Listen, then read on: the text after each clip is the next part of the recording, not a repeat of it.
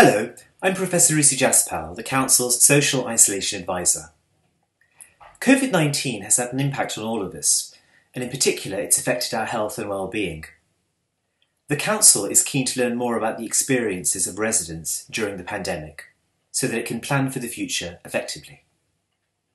It's for that reason that we're launching this online survey.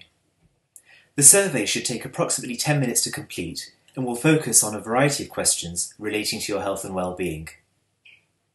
If you wish to learn more about the survey, please click on the link below where you'll be directed to the participant information sheet. You'll then be able to decide whether or not to proceed to the survey. Thank you very much indeed for considering taking part in the survey. This will be very helpful for us because we want to get a broad range of perspectives from across all communities in the borough. Thank you.